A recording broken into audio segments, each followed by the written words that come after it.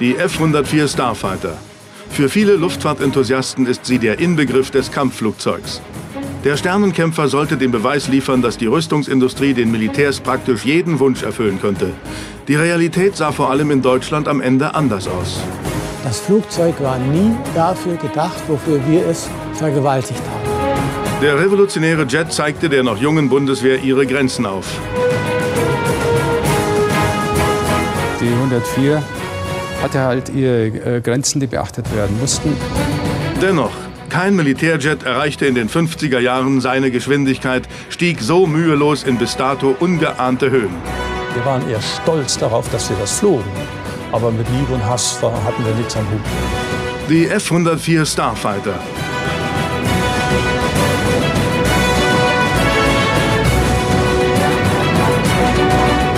Ihre Entwicklung beginnt beim US-Flugzeugbauer Lockheed bereits Anfang der 1950er Jahre.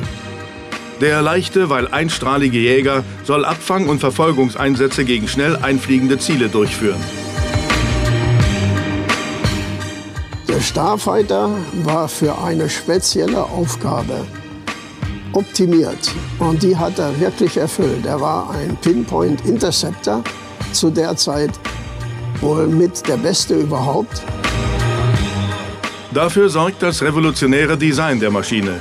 Klein, einfach, besonders leistungsfähig, wendig und gute Rundumsicht für den Piloten. Das waren nach dem Koreakrieg die Wünsche der US-Kampfflieger an die neue Jet-Generation. Daraufhin entwickelt Lockheed eine Art Raketenflieger. Es war aerodynamisch auf alle Fälle ein neues Flugzeug, ein großer Wurf, wie das oft so genannt wird. Da auch zum ersten Mal damals mit dieser aerodynamischen Eigenart der ganz äh, dünnen Vorflügel äh, Mach 2 geflogen werden konnte. Die messerscharfen Stummelflügel, die den Überschallflug ermöglichen und das kraftvolle Triebwerk verleihen dem Starfighter seine atemberaubende Beschleunigung. Die F-104 ist halb so schwer, aber doppelt so schnell wie die damaligen US-Jets. Für mich ist es eines der schönsten Flugzeuge, die sie je gebaut haben. Dem Superjäger fehlt jedoch die Eignung zum allwetterfähigen Mehrzweck-Kampfjet. Denn die kleinen Tragflächen und der schmale Rumpf bieten kaum Platz für Steuerelemente, Tanks und zusätzliche Ausrüstung. Der Starfighter war seiner Zeit hinsichtlich seiner Leistungsfähigkeit auf jeden Fall voraus. Er symbolisiert für mich allerdings eher so den Wunsch des Menschen, raketenartig zu fliegen und äh, hinsichtlich seiner Konstruktion, seiner Aerodynamik ist er vielleicht eher der Versuch, etwas Überbordendes zu erreichen, denn ein militärisch effektives Flugzeug zu errichten. Als der Jet 1956 an die US-Luftwaffe ausgeliefert wird, sind die großen Bomberverbände inzwischen rar am Himmel. Der Starfighter ist geschaffen worden als Jagdflugzeug, weil man glaubte, dass in dem Kriegsbild der späten 50er Jahre in großer Höhe große Bomberverbände fliegen. Tatsächlich aber war dieses Kriegsbild, als er dann auf den Markt kam und gerade als die Luftwaffe ihn dann beschafft hat, schon nicht mehr vorhanden.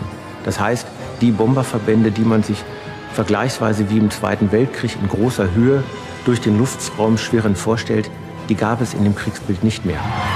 Der Erfolg bei der US-Luftwaffe bleibt deshalb aus. Viele US-Bündnispartner suchen zur gleichen Zeit jedoch nach einem modernen Jet, um ihre alten Flotten zu modernisieren. So wie Deutschland, dessen Luftstreitkräfte sich noch im Aufbau befinden. Die Beschaffung des Starfighters ist deswegen problematisch, weil sie natürlich unter hohem Zeitdruck stattfand. Die Luftwaffe suchte seit 1957, 58 ein Nachfolgemuster für verschiedenste Kampfflugzeugtypen.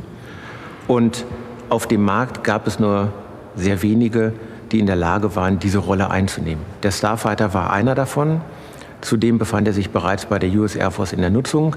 Das heißt, man konnte hier dieses Flugzeug erproben, testen und feststellen, ob es den Ansprüchen genügt. Die junge Bundesrepublik sucht nach einem preiswerten, allwetterfähigen Mehrzweck-Kampfflugzeug, das doppelte Schallgeschwindigkeit fliegen soll und für Atomwaffeneinsätze geeignet ist. Es soll ein Flugzeug von der Stange sein, das es so jedoch auf dem Markt gar nicht gibt. Das Entscheidende ist halt, dass die Luftwaffe glaubte, mit der Beschaffung des Starfighters insgesamt drei verschiedene Kampfflugzeugtypen ablösen zu können. Hinzu kam eben auch noch der Ersatz zweier Flugzeugtypen bei der Marine, sodass man sich vorstellte, durch die Vereinfachung oder Standardisierung der Ausbildung des fliegenden und des technischen Personals und auch der gesamten Logistik in den Verbänden Einspareffekte zu erzielen und auch die Ausbildung gerade in der Aufbauphase der Luftwaffe vereinfachen zu können. Ein Herkules-Vorhaben für eine Luftwaffe, die es nach dem Zweiten Weltkrieg erst einmal zehn Jahre gar nicht gibt. Erst 1956 mit der Wiederbewaffnung werden neue Jetgeschwader aufgestellt. Dennoch träumen führende Politiker und Militärs schon von einer der best ausgerüsteten und schlagkräftigsten Luftflotten der Welt. Der Starfighter ist beschafft worden für die Bundeswehr, weil die Luftwaffe ihn wollte. Weil ausgehend von den Generalen Johannes Steinhoff und Josef Kammhuber ähm, erst der Verteidigungsminister Franz Josef Strauß, dann der Verteidigungsausschuss, der Haushaltsausschuss und letztlich das Plenum des Bundestages dem Beschaffungswunsch der Luftwaffe zugestimmt haben. Das heißt, hier sind nicht viele Köche, die den Brei verdorben haben, sondern hier hat die Luftwaffe sich in einer Beschaffung durchgesetzt und hatte letztlich dann auch die Konsequenzen für eine nicht ganz einfache und in vielen, vielerlei Hinsicht auch falsche Beschaffungsentscheidung nachher die Konsequenzen zu tragen. Im Mittelpunkt dieser wenig transparenten und geheimnisumwitterten Beschaffung steht der damalige Verteidigungsminister Franz Josef Strauß. Ein Untersuchungsausschuss des Bundestages hat festgestellt, dass Franz Josef Strauß keine Bestechlichkeit vorgeworfen werden kann. Gleichzeitig hat dieser Untersuchungsausschuss allerdings auch festgestellt, dass die Beschaffung und die Auftragsvergabe an Lockheed nicht so durchgeführt wurde, dass sie nachvollziehbar ist. Also es bleiben Gerüchte im Raum. Und wenn man sieht, dass Prinz Bernhard der Niederlande ganz offenkundig geschmiert wurde und seine Aufgaben danach aufgegeben hat, dann bleibt der Schimmer des Verdachts hängen. Der Beweis fehlt allerdings. Am Ende kauft die junge Republik die Katze im Sack, weil die Luftwaffe glaubt, die notwendige, aber noch zu entwickelnde Technik einfach nachrüsten zu können. Ein Irrglaube. Als 1958 die Entscheidung für den Starfighter fällt, existiert die deutsche Version F-104G so nur auf dem Reißbrett. Der erste Bundeswehr-Starfighter läuft erst ein Jahr später in Kalifornien vom Band. 1961, mit Beginn der US-Serienproduktion, startet auch in Europa ein gigantisches Nachbauprogramm. Neudeutsch gesprochen ist er der Kick-off für die Luftfahrtindustrie nach dem Zweiten Weltkrieg. Die Firmen, die im Zweiten Weltkrieg und vorher Luftfahrzeuge produziert haben, haben etwas anderes produzieren müssen. Und der Starfighter war für sie die Möglichkeit, wieder mit, der, mit dem Flugzeugbau anzufangen und dazu eben gleichzeitig durch die amerikanische Technik den Quantensprung in die Hochtechnologie zu bekommen. Zeitweise sind dabei mehr als 100.000 Arbeiter in 25 Luftfahrtwerken bei drei Triebwerksfirmen und 36 Elektronikunternehmen beschäftigt. Durchschnittlich laufen pro Monat 13 Jets vom Band. Stückpreis 6 Millionen D-Mark. Die deutsche Luftfahrtindustrie sagt heute, dass der Starfighter der Einstieg ist, um letztendlich den A380 bauen zu können. Das heißt, er ist das erste Flugzeug, mit dem die deutsche Luftfahrtindustrie Hochtechnologie nach dem Zweiten Weltkrieg gebaut hat. Und alles, was mit dem Starfighter anfing, was dann zum Beispiel mit dem Tornado oder anderen Flugzeugen in Deutschland und Europa fortgesetzt wurde, hat seine Wurzeln bei der F-104. Beim Lizenzbau zeigt sich schnell, dass die Maschinen europäischer Produktion häufig eine bessere Qualität als die US-Produkte vorweisen können. 1960 werden die ersten deutschen Starfighter-Piloten in den USA auf den neuen Jet umgeschult. Nach einer Woche Theorie absolvieren die handverlesenen Umschüler insgesamt 26 Übungsflüge. Im Eiltempo müssen sie die extrem anspruchsvolle F-104 alleine meistern können. Eine große Herausforderung für Piloten, die bisher Unterschalldüsenjäger geflogen haben. Für einen äh, kurzen Zeitraum hatte das sicher auch mit einer nur kurzen Umschulungszeit zu tun. Ähm, die 104 hatte halt ihre äh, Grenzen, die beachtet werden mussten. Andere Flugzeuge waren vielleicht verzeihlicher oder haben mehr verziehen an Fehlbehandlung. Das gilt bereits für die Trainingsmaschine. Allein das Handbuch des Starfighters ist so dick wie das Telefonbuch einer Millionenstadt. All diese Informationen muss der Pilot im Kopf haben, wenn er startet. Die 29.000 PS des Triebwerks beschleunigen ihn in nur 15 Sekunden von 0 auf 350 Kilometer pro Stunde. Danach bleiben ihm wenige Sekunden für zahlreiche Handgriffe wie den Fahrwerkshebel zu betätigen. Geschieht dies zu spät, fahren die Räder nicht richtig ein und beeinträchtigen die ohnehin schon grenzwertige Aerodynamik des Jets. Der Pilot muss landen und der Jet in die Werkstatt. Das Kernproblem ist halt nach wie vor, dass die Aufgaben, die der Starfighter zu bewältigen hatte, mit dem Flugzeug nicht in Einklang zu bringen waren und die Flugzeugführer mit diesem Flugzeug auch technisch in der Anfangsphase durchaus überlastet waren. Der Knackpunkt ist nicht der Starfighter, der ein sinnvoll konzipiertes Flugzeug ist. Die deutsche F-104 wird zum Krisenflieger, weil die Bundeswehr aus dem einfachen Schönwetterabfangjäger einen tieffliegenden Jagdbomber macht, der durch die notwendige Zusatzausrüstung störanfällig wird. Es war nur ein Flugzeug, das zu haben war, das war zu einem guten Preis zu haben und deswegen wurde es gekauft. Extra Navigationsgeräte, Visiereinrichtungen und Radarsysteme machen den Jet letztlich immer schwerer und komplexer.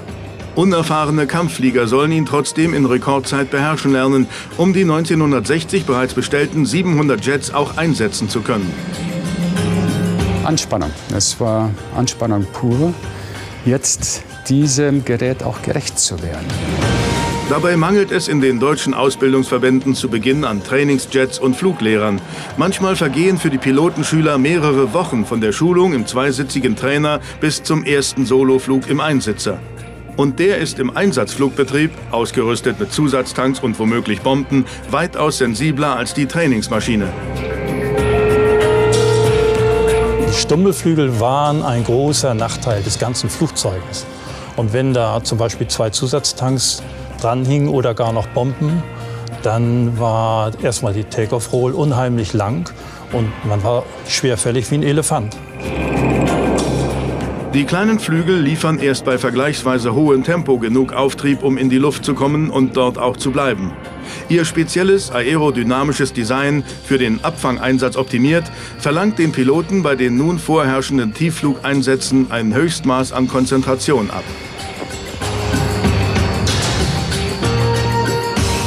Zu Anfang wurde ziemlich hart geflogen, ohne dass man diese Erfahrung hatte, was könnte jetzt kommen.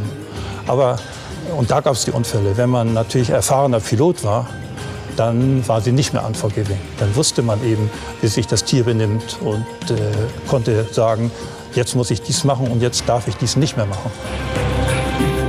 Dazu gesellen sich Schwierigkeiten mit dem Triebwerk, dessen Ausfall gleich Absturz bedeutet. Es ist besonders anfangs zu Triebwerksproblemen gekommen. Äh, Versagen des Triebwerks nach dem Start oder Versagen des Triebwerks in der Luft. Das hat es alles gegeben. Kampfflieger stecken in einem Dilemma.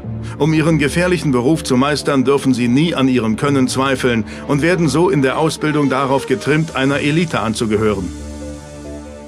Nun, man wird ja in Amerika zur Overconfidence äh, erzogen. Während der fliegerischen Ausbildung, die zwei Jahre in Amerika, wird einem immer wieder gesagt, dass man zu den Besten gehört. Insofern ist es schwierig für einen Piloten, ein Flugzeug aufzugeben, weil er immer im Hinterkopf hat, Mensch, irgendwas habe ich vielleicht falsch gemacht. Und das könnte und hat auch wohl in einzelnen Fällen dazu geführt, dass einige Piloten einfach zu spät ausgestiegen sind und die sind dann tödlich verunglückt. Ein vielschichtiger Ursachenmix führt schnell zu ganzen Absturzserien, die den Starfighter in der Öffentlichkeit ins Gerede bringen.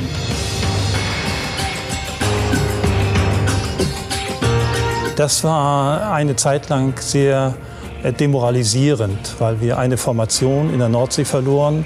Warum, weiß keiner. Und das, der letzte Fall, der dritte Fall, er setzte ein, ein äh, Triebwerk aus, kurz nach dem Start. Eine schlimme Situation wenn man noch nicht richtig hoch ist und das Triebwerk setzt aus. Da konnte man wegen des äh, alten Fallschirms, den wir damals hatten, auch nichts mehr retten. Der C2-Sitz bietet am Boden erst ab rund 120 Stundenkilometern gute Überlebenschancen. Dem modernen, superschnellen, fliegenden Geschoss wird das Rettungssystem einfach nicht gerecht. Vor allem beim Start, der Landung und im Tiefflugeinsatz gleicht ein Ausstieg einem russischen Roulette. Dabei sind die Piloten anfangs den schnellen Handlungsabläufen und dem geringen Fehlerspielraum in der F-104 nur unzureichend gewachsen. Selbst im Tiefflug schafft der Jet Überschallgeschwindigkeit, fordert im Luftnahkampf aufgrund der Stummelflügel vom Piloten sein ganzes Können. Der Starfighter war wohl in Europa überfrachtet worden, weil er eigentlich als Abfangjäger konzipiert war. Und zwar als Abfangjäger schneller Takeoff, in große Höhen abfangen und wieder landen. Was wir Europäer daraus gemacht haben, auch wir Deutsche, ist eben ein Jagdbomber äh, mit äh, entsprechenden Waffen drunter, die schwer sind. Wir haben Tanks äh, unter den Wings gehabt, die ja rasierklingenartig äh, schmal sind. Wir haben äh, ihn als Aufklärer mit Kameras benutzt und das alles hat eben die Aerodynamik sehr verändert. Und äh, aus diesem Grund war es doch ein wenig kritisch, vor allen Dingen in der Anfangszeit für die Piloten, die aerodynamischen Grenzen zu erkennen.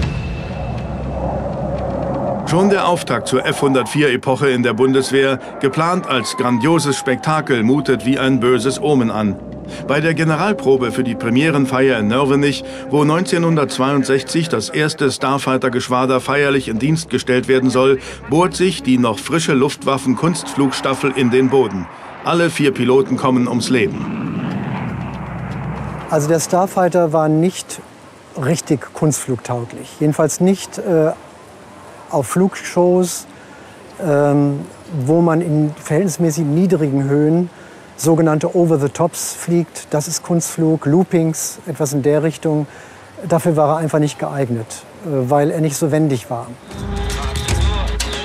1963 beim US-Flugzeugbauer Lockheed beginnt man mit der Erprobung eines Raketenstartsystems für die F-104, das schon bei den Kampfjets F-86 und F-100 verwendet wurde.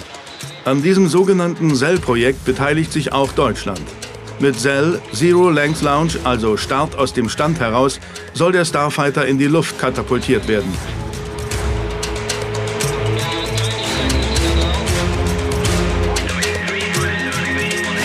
Wir waren in der heißesten Zeit des Kalten Krieges. Äh, die NATO-Doktrin zu der Zeit hieß massive Vergeltung.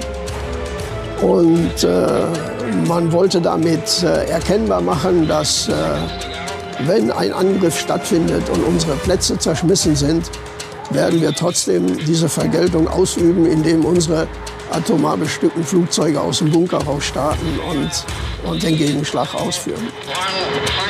Nach ersten bemannten Startversuchen auf der US-Luftwaffenbasis Edwards wird das Programm ab 1966 auf den bayerischen Fliegerhaus Lechfeld verlagert.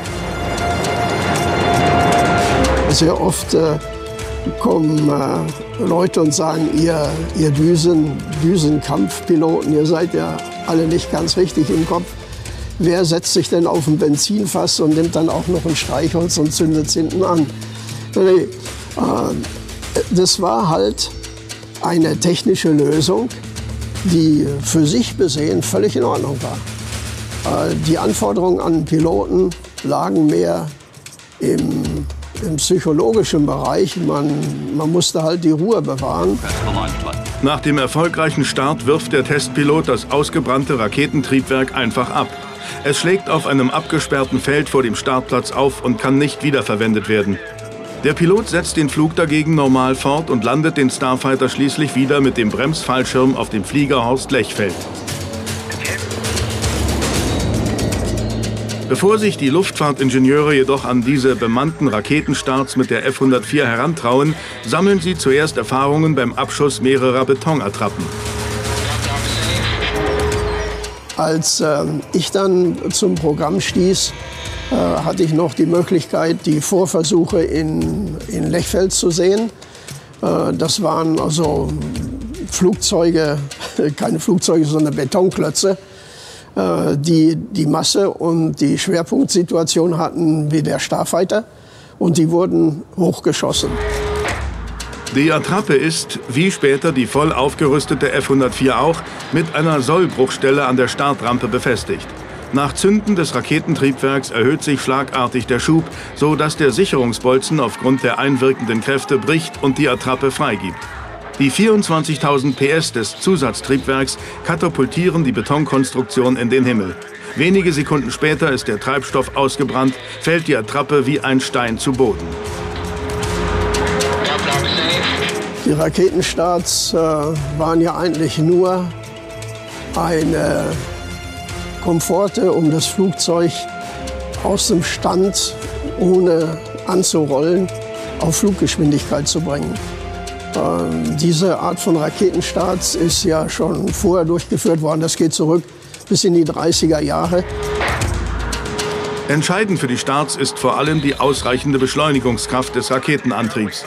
Bevor er gezündet wird, startet der Testpilot das Starfighter-Triebwerk, fährt es auf vollen Trockenschub hoch, zündet dann den Nachbrenner und wartet, bis die Triebwerkswerte konstant sind. Dann entsichert er den Zündkreis und startet die Rakete. Das Fahrwerk und die Landeklappen fahren wenig später automatisch ein. Normalerweise hält der Pilot den Leistungshebel und den Knüppel in der Hand.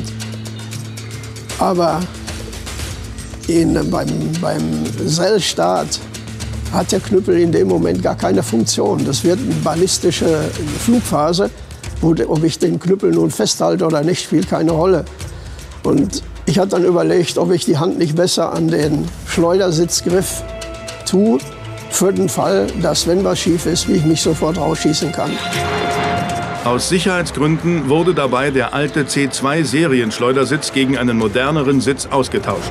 Wenn Sie mich fragen, was war eine kritische Situation, dann kann ich Ihnen sagen, ich habe keine erlebt. Nur hinterher hat man gesehen, dass es durchaus nicht immer unkritisch war. Bis Mitte 1966 werden sieben erfolgreiche Cell-Starts absolviert. Kosten pro Start rund 115.000 D-Mark. Mit dem Wechsel der NATO-Strategie von der massiven Vergeltung zur flexiblen Antwort wird Cell beendet. Bereits in den ersten sechs Starfighter-Jahren verliert die Bundeswehr 66 Maschinen. Der Jet gerät zwangsläufig ins Visier der Medien. Hier in Deutschland ist die Presse- und Medienlandschaft nach dem Zweiten Weltkrieg nach einer Phase der ja, des Konsensjournalismus, wie das mal beschrieben worden ist, in der Ära Adenauer ab Mitte der 50er Jahre sehr viel kritischer geworden und sie haben sehr viel kritischer auch die Streitkräfte beobachtet. Das bedeutet, dass sie jeden, jede Tendenz, dass die Bundeswehr sich wie die Wehrmacht im Dritten Reich entwickelt, sehr kritisch beobachtet haben. Das bedeutet aber auch, gerade den Starfighter betreffend, dass sie mit sehr hoher Sachkenntnis und immer dicht an der Wahrheit über die Ursachen und Probleme berichtet haben. Nach einem NATO-Manöver führt eine allgemein bundeswehrkritische Berichterstattung 1962 zur sogenannten Spiegel-Affäre. Konservative Kreise werfen Spiegel-Mitarbeitern und Herausgeber Rudolf Augstein Landesverrat vor. Spiegel-Journalisten werden verhaftet, die Räume des Nachrichtenmagazins in Hamburg durchsucht und von der Polizei besetzt. Die Affäre wird zum Politskandal und zur Vertrauenskrise innerhalb der schwarz-gelben Regierungskoalition. Verteidigungsminister Franz Josef Strauß muss zurücktreten. Er hatte die Verhaftungen veranlasst. Die Spiegeljournalisten werden freigesprochen und rehabilitiert, was heute allgemein als Sieg für die Pressefreiheit betrachtet wird.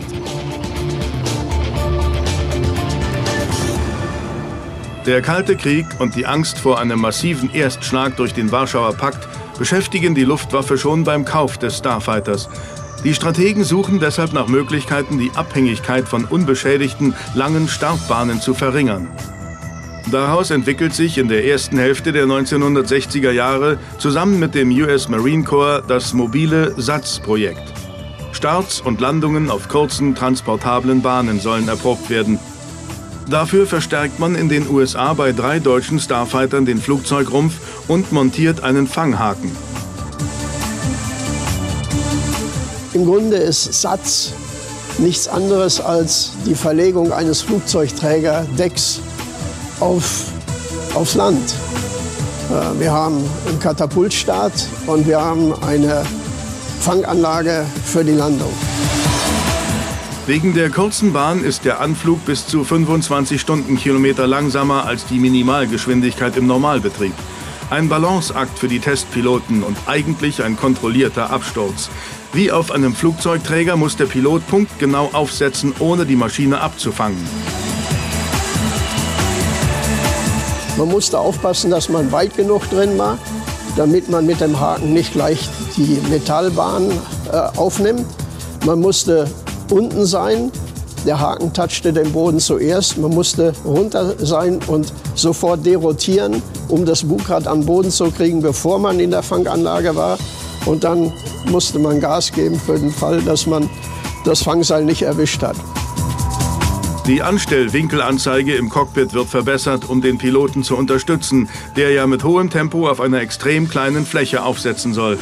Die hohe Anfluggeschwindigkeit des Starfighters, die aufgrund der Stummelflügel unausweichlich ist, fordert den Piloten dennoch alles ab. Die Fehlermarsch geht gegen Null.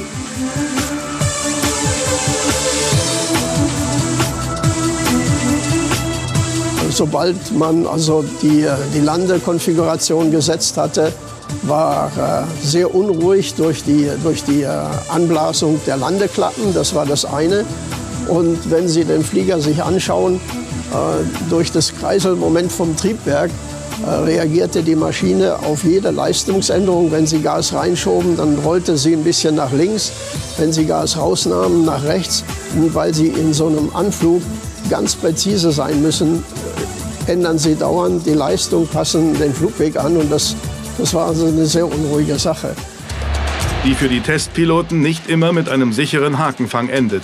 Wie dieser Zwischenfall in Manching zeigt, der am Ende trotz der dramatischen Bilder noch glimpflich verläuft. Nur der Jet muss einige Dellen einstecken. Der Versuchspilot kann unversehrt sein ramponiertes Flugzeug verlassen.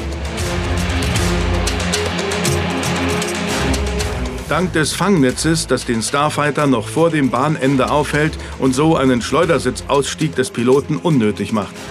Der Zwischenfall unterstreicht deutlich die Herausforderungen beim Satzprojekt und er zeigt die Defizite der Starfighter-Stützpunkte Mitte der 60er Jahre.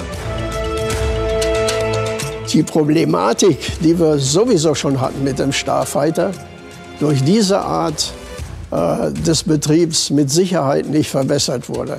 Wir hatten seinerzeit ja die sogenannte Starfighter-Krise. Und äh, das war an sich äh, äh, so, dass, dass die Stimmung in, in der Bundesrepublik nicht gerade für den Starfighter war. Und äh, diese Satzgeschichte, äh, da konnte man von ausgehen, da hätten wir sehr bald äh, Zwischenfälle gehabt oder Unfälle, weil eben das Flugzeug für diese Aufgabe denkbar ungeeignet war. Nicht nur Flugzeugträgerlandungen werden mit der F-104 erprobt. Zum Satzprojekt gehört auch ein Katapult, um die Maschine auf einer 220 Meter langen Piste auf Abfluggeschwindigkeit zu beschleunigen. Das Bugfahrwerk des Starfighters wird auf den Katapultschlitten gestellt und befestigt. Stahlseile, die über eine Mechanik von zwei Starfighter-Triebwerken gezogen werden, beschleunigen den Schlitten in einer Laufschiene. Bei der Satzgeschichte war es jetzt so, dass man den Katapultstart noch einigermaßen hinbekam. Das war eine reine Leistungsfrage. Es war natürlich auch ein Problem, äh, das Flugzeug stabil auf dem Dolly zu halten. Aber da will ich nicht ins Detail gehen, das funktionierte einigermaßen. In nur sieben bis acht Sekunden beschleunigt der Schlitten dabei die F-104 von 0 auf rund 360 Stundenkilometer, die Abfluggeschwindigkeit. Aber 1966 sieht die Bundeswehr für solche Starts keine Notwendigkeit mehr und beendet das Testprogramm. Die NATO-Forderungen, die ja die Grundlage für Satz solch, als solches waren, nämlich die massive Vergeltung, äh, diese Doktrin war fallen gelassen worden in der Zwischenzeit und man überlegte sich was anderes. Und, äh, und äh, aus dieser Überlegung heraus kam die Entwicklung der Senkrechtstarter. Zur gleichen Zeit erreicht die sogenannte Starfighter-Krise ihren Höhepunkt. In den Jahren 1965 und 66 verunglücken 47 Jets, kommen 30 Piloten ums Leben. Die Probleme finden sich in allen Bereichen. In den Geschwadern fehlen hunderte Flugzeugmechaniker, um die vielen Maschinen zu betreuen. Während bei NATO-Partnern ausschließlich länger dienende Zeitsoldaten an den Jets arbeiten dürfen, schrauben in der Bundeswehr oft Wehrpflichtige daran herum. Viele Mechaniker sind nur überhastet ausgebildet worden. Es fehlen Hallen, um die teuren Flugzeuge trocken abzustellen. Und aufgrund der vielen technischen Änderungen gleicht kaum eine Maschine der anderen.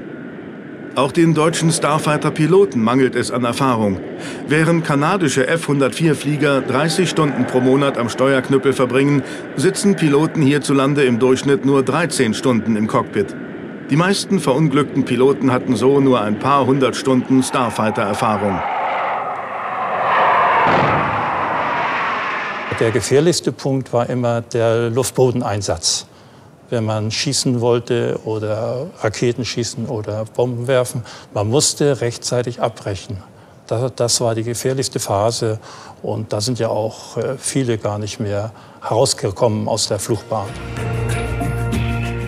Das europäische Schmuddelwetter trägt ebenfalls seinen Teil zur Krise bei. Anfangs stehen die Jets bei Nässe und Kälte im Freien, was die empfindliche Elektrik anfällig macht und im Flug immer wieder zu Ausfällen von Ventilen, Steuereinheiten und Triebwerken führt. Weil die Piloten überfordert waren, die Techniker waren überfordert, die ganze Organisation war überfordert und war nicht durchdacht, die Infrastruktur war überfordert, die Landebahnen waren zum Teil zu kurz. Die äh, Flugsicherung war überfordert. Es war eben nicht alles richtig vorbereitet, weil wir einfach in Zuchtzwang waren. Wir mussten etwas Neues haben und da wurde keine Rücksicht genommen, wenn was schief lief. In den Geschwadern selbst herrscht in dieser schwierigen Phase ein enormer Druck auf alle Beteiligten. Einerseits mangelt es an Ersatzteilen, fehlt erfahrenes Personal in der Organisation und den technischen Abteilungen. Andererseits gibt es strenge NATO-Anforderungen. Die Geschwader müssen 70 Prozent einsatzfähige Flugzeuge bereitstellen. Oftmals steigen so wegen der gravierenden Wartungsdefizite Maschinen in den Himmel auf, die eigentlich in die Wartungshalle gehören. Die logische Konsequenz sind Unglücke.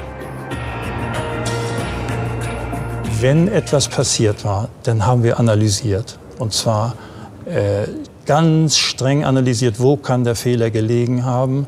Denn was wir ja verhindern wollten, ist, dass ein Fehler, wenn er schon mal gemacht worden ist, sich wiederholt. Die Analyse war wichtig. Äh, rumgeweint und, und rumgejammert wurde nicht. Aber es wurde hart an den Ursachen des Unfalls gearbeitet. Und da sind wir denn ja auch sehr viel besser geworden. So absurd es in dieser fatalen Situation klingen mag, in der sich die Starfighter-Piloten befinden, die meisten von ihnen lieben ihr Arbeitsgerät. Die meisten Starfighter-Piloten lieben ihr Flugzeug und die wenigsten äh, verdammen es. Mir ist kein einziger bekannt. Das bedeutet nicht, dass sie unkritisch diesem Flugzeug gegenüber sind, aber sie haben mit einer gewissen ja, Technikhörigkeit ihren Beruf als Piloten ausgeübt. Sie haben sich auf die Technik verlassen. Die meisten sind damit ja auch gut gefahren und es ist ein gewisser ich nenne es mal Fatalismus im Fliegerberuf, dass man ungeachtet eines Absturzes in der eigenen Staffel am Morgen nachmittags um drei dann trotzdem fliegt, weil das Fliegen der Beruf ist, weil das Fliegen auch für viele eine Leidenschaft ist und weil alle diejenigen, die den Starfighter fliegen, letztlich auch wegen des Wunsches zum Fliegen in die Bundeswehr gekommen sind. Auf dem Höhepunkt der Starfighter-Krise kommt es zwangsläufig zu personellen Veränderungen an der Luftwaffenspitze. 1966 scheidet Luftwaffeninspekteur General Panitzky aus. Nachfolger wird General Johannes Steinhoff, ein erfahrener Jagdflieger aus dem Zweiten Weltkrieg und ausgebildeter Starfighter-Pilot. Er gilt noch heute als Bezwinger der Krise. Dass er der Erste war an der Spitze der Luftwaffe, der sich mit diesem Flugzeug auch auskannte. Er ist es selber geflogen.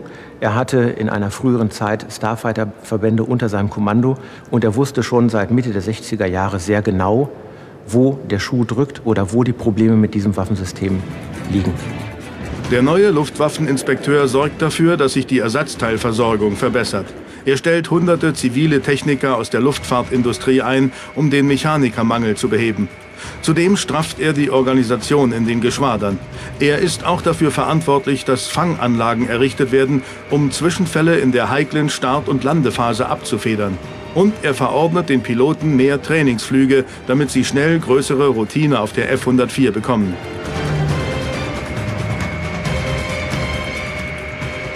Das, was er durchgesetzt hat, nicht nur an seinen Weisungsbefugnissen das Waffensystem betreffend, sondern auch das, was er mit der Luftwaffe dann vollzogen hat, nämlich einen kompletten Strukturwandel, ist nichts anderes als die Konsequenz aus der Krise und den Problemen. Er ist im Grunde genommen der Erste, der erkannt hat, dass nicht der Starfighter das Problem ist, sondern dass die Luftwaffe personell und strukturell auf dieses Waffensystem überhaupt nicht vorbereitet war. Steinhoff setzt auch durch, dass der moderne und leistungsfähigere Martin Baker Schleudersitz in die F-104 eingerüstet wird, der bereits bei den Satz- und Sell-Programmen verwendet wurde.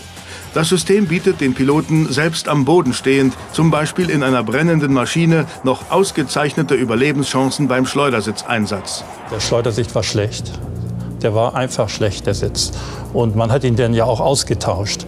Aber wir haben viele, viele Unfälle gehabt durch das Versagen oder dadurch, dass der Schleudersitz nicht richtig performte, wie man sagte. Deswegen ist ja sofort betrieben worden, den Martin Baker reinzusetzen. Der war eben viel besser. Der konnte noch schneller reagieren, noch höher schießen. Und der war eben das, was man an sich schon am Anfang hätte haben müssen. Bereits 1967 zeigen die eingeleiteten Sofortmaßnahmen Wirkung. Die Unfallhäufigkeit geht entscheidend zurück. Sie pendelt sich ab 1970 schließlich auf internationalem Durchschnitt ein. Das zeigt, dass nicht das Flugzeug alleine Auslöser der Krise war.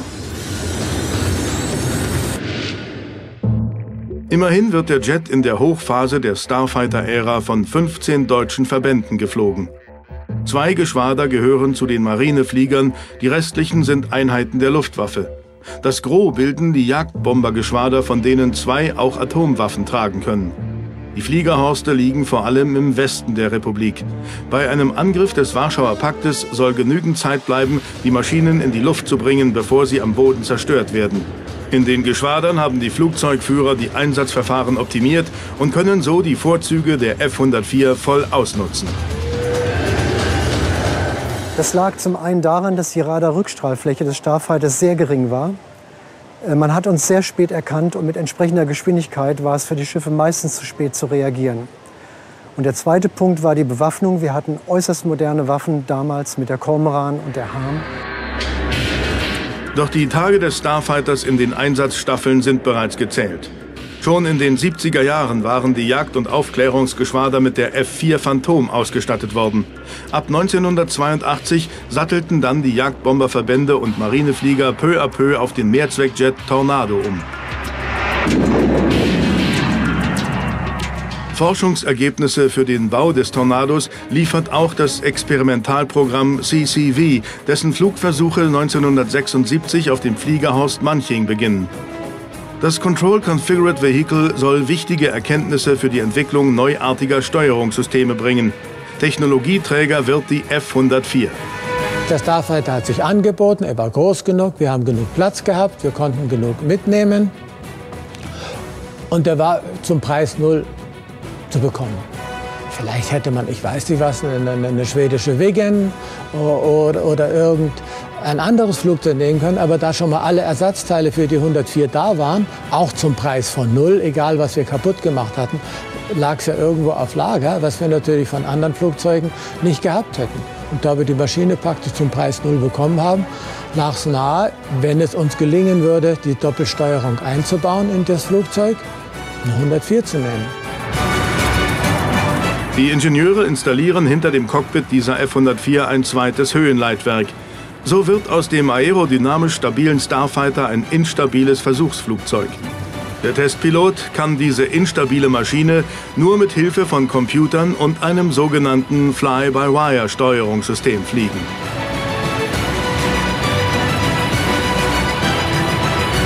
Und es ist ganz klar gewesen, dass der Trend von superstabilen Flugzeug Zweiter Weltkrieg über weniger stabile Flugzeuge in der Zwischenzeit zu irgendwann einmal instabilen Flugzeugen führen würde. Instabile Flugzeuge können nicht rein mechanisch geflogen werden, gesteuert werden, sondern müssen über Computer gesteuert werden. Ohne Computer, die ständig hunderte Messdaten abgleichen und auswerten, kann ein Mensch solch ein instabiles Flugzeug alleine nicht in der Luft halten.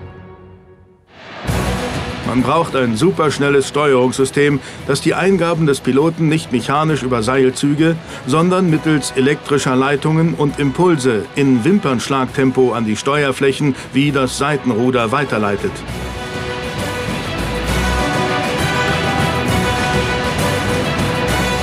Ein instabiles Flugzeug mit gleichen, sage ich mal, geometrischen Voraussetzungen bringt ihnen viel mehr Auftrieb oder viel engere Kurven oder viel höhere Gehbelastungen. Das CCV-Experimentalprogramm endet 1984 mit einer Vielzahl von Daten. Diese führen zu revolutionären Steuerungssystemen, die noch heute die Grundlage für moderne Flugzeuge bilden, wie dem Megaflieger A380 oder dem Kampfjet Eurofighter. Nach dem tragischen Absturz der Kunstflugformation in Nörvenich im Jahr 1962, bei dem vier Starfighter-Piloten sterben, stellt die Luftwaffe sämtliche Aktivitäten im Kunstflug komplett ein. Jahrelang gibt es in der gesamten Bundeswehr kein spezielles Team mehr. Erst 1979 zeigt ein Marineduo wieder ein Demonstrationsprogramm, das im In- und Ausland große Zustimmung findet. Im gleichen Jahr stürzt jedoch bei einem Flugtag im englischen Jovelton erneut ein deutscher Starfighter ab, der allerdings nicht zu dem Vorführduo gehört. Der Pilot wird getötet und die Marine stellt ihre Vorführungen vorerst wieder ein. Erst 1983 wartet das Marinefliegergeschwader 2 in Eggebeck für den Tag der offenen Tür erneut mit einem F-104 Demo-Team auf. Die Vikings sind geboren.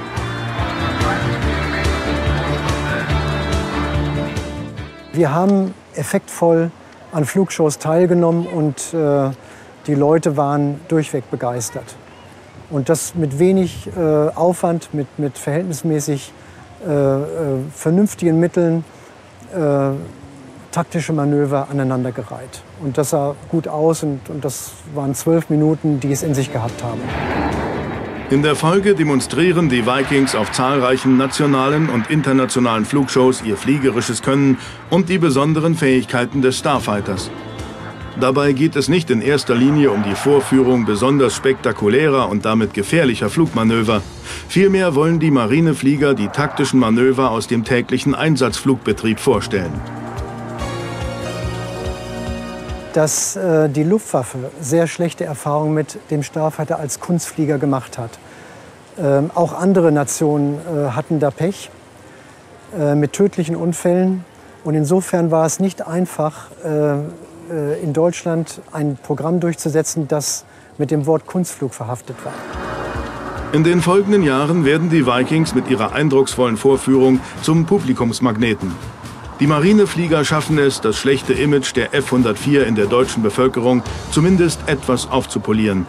Nach den schmerzlichen Anfangsjahren mit mehreren Absturzserien haben die Luftwaffe und die Marineflieger den Starfighter in den 1980er Jahren im Griff.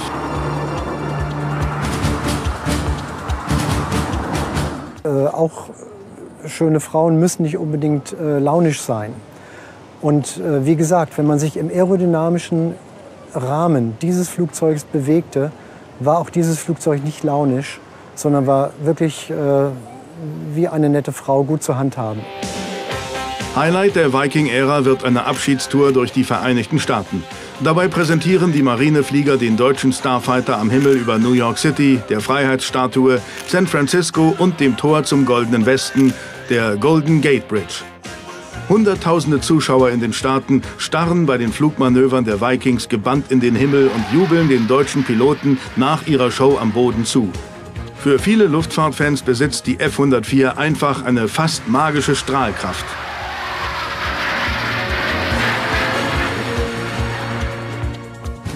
Also die Zuschauer, die waren äh, erstmal aufgrund, man muss es sagen, aufgrund des Lärms beeindruckt. Der Starfighter mit Nachbrenner äh, hat ein, ich sag mal, Grummeln erzeugt, das ging durch den Bauch.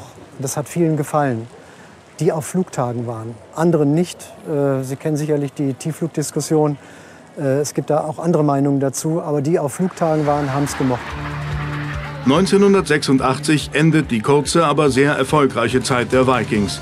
Der Starfighter ist in der Bundeswehr zum Auslaufmodell geworden, den die F-4 Phantom und vor allem der Mehrzweckkampfjet Tornado ersetzt haben. Die Erinnerungen an diese Starfighter-Epoche leben bei den Beteiligten aber fort. Ich habe allein zwei Leitsordner voller Fanpost von Leuten, die einfach geschrieben haben, wie toll sie unser Programm fanden. Äh, das kann einen stolz machen. Äh, und wir haben, glaube ich, damit die Marine sehr würdig vertreten. Nicht nur die Marine, eigentlich auch die, die Bundeswehr, die Luftwaffe äh, mit diesem Flugzeug. Am 22. Mai 1991 wird auf dem Flieger Horst Manching mit dem Abschiedsflug bei der Wehrtechnischen Dienststelle 61 das letzte Kapitel des Starfighters in Deutschland geschlossen. Schon vier Jahre zuvor, 1987, hatte das Jagdbombergeschwader 34 im bayerischen Memmingen als letzter Einsatzverband die F-104 ausgemustert. Anschließend flogen noch einige Jets beim Luftwaffenversorgungsregiment 1 im bayerischen Erding. Ich kenne keinen Piloten, der Angst hatte, in den Starfighter zu steigen. Jedenfalls nicht in der Zeit, in der ich im Geschwader war. Ich habe auch keinen Piloten kennengelernt, der irgendwann mal gesagt hat, jetzt will ich nicht mehr. Im Gegenteil, alle hatten Spaß an dem Flugzeug. Die Fliegergeschichte der deutschen Starfighter ist mit der Ausmusterung aber noch lange nicht zu Ende. Viele Maschinen werden an befreundete Staaten abgegeben. Fast 70 gehen an die USA, die sie nach einer technischen Überholung an Taiwan abgeben. Drei an die NASA, rund 60 an Griechenland, 200 an die Türkei und sechs nach Italien. Viele Armeen setzen weiter auf die Fähigkeiten der F-104. In der deutschen Bevölkerung wird der Jet dagegen seinen schlechten Ruf nie ganz los. Das ist die Ambivalenz dieses Waffensystems, dass die Piloten diese Maschine überwiegend noch innig lieben.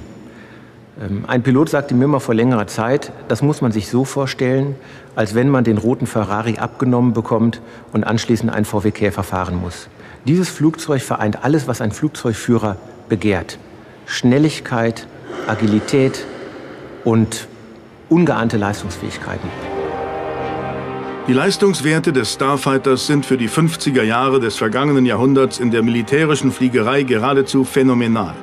1958 stellt die F-104 mit rund 2260 Stundenkilometern einen neuen Geschwindigkeitsrekord auf. Nur ein Jahr später schießt der legendäre Jet auf die Weltrekordhöhe von mehr als 31.000 Metern empor. Der Starfighter ist das erste Flugzeug überhaupt, das zur gleichen Zeit die Weltrekorde für Maximalgeschwindigkeit, Flughöhe und Steigrate hält. Am Ende ist die F-104 für fast 45 Jahre Teil der NATO-Luftstreitkräfte in Europa und steuert sicherlich ihren Teil zur Abschreckung in den Hochzeiten des Kalten Krieges bei. Ab den 70er Jahren kann man sagen, hat die Luftwaffenmarine den Starfighter im Griff gehabt. Als Fazit meine ich für diese Zeit, war mit diesem Waffensystem ein angemessener Beitrag geleistet worden im Rahmen des Auftrags innerhalb der NATO zur Abschreckung und späterhin auch zur äh, eventuellen Abwehr eines eventuellen Angriffs beizutragen. Damals ist das Wort Starfighter in der Bevölkerung praktisch das Synonym für das Wort Kampfflugzeug. Der 17 Meter lange, nur 7 Meter breite und etwas mehr als 4 Meter hohe Jet wird zum Mythos. Vielfach wird die Maschine verteufelt. Die F-104 steht für Intrigen, dunkle Machenschaften, atomare Aufrüstung, Bestechlichkeit, politische Willkür, Skandale, Tod und Verderben. Angefacht wird das Misstrauen der Bevölkerung von einer zu Recht wachsam kritischen Presse. Für die meisten Piloten, die tagtäglich in die F-104 einsteigen, ist die Maschine dagegen ein sensibler Hightech-Jet mit beeindruckender Leistungsfähigkeit.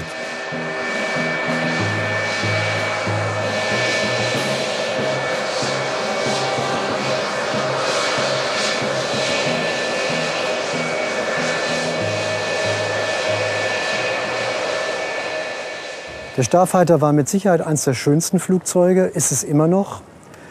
Wenn man die Statistiken ansieht, sicherlich auch eines der tödlichsten. Allerdings die Einschränkung muss gemacht werden, dass in den letzten zehn Jahren kaum noch tödliche Unfälle passiert sind. Dennoch, die Zahlen muten gigantisch an. Die Regierung kaufte 916 Jets zum Preis von rund 4,4 Milliarden D-Mark. Mehr als 2000 Starfighter-Piloten wurden ausgebildet, die rund zwei Millionen Stunden hinterm Steuerknüppel saßen. Dabei ging fast ein Drittel der Flotte verloren. 108 deutsche und 8 US-Piloten ließen ihr Leben. So komisch das klingt, der Starfighter hat die Luftwaffe weitergebracht. Einmal hat er dazu geführt, dass sie strukturell neu aufgestellt worden ist und sehr viel effektiver arbeiten konnte. Das Zweite ist, dass man sich hinsichtlich der Ausbildung des technischen und des fliegenden Personals sehr viel Gedanken gemacht hat und sehr viele neue Ausbildungskonzepte umgesetzt hat. Und drittens, dass eben auch die Infrastruktur in den Verbänden neuartig konzipiert worden ist. Unter dem Strich ist der Starfighter nach wie vor ein durchschnittliches Flugzeug hinsichtlich seiner Unfallzahlen. Er ist mehr als zwei Millionen Stunden in der Bundeswehr geflogen und äh, seine Unfallzahlen sind nicht anders als bei anderen Flugzeugen auch.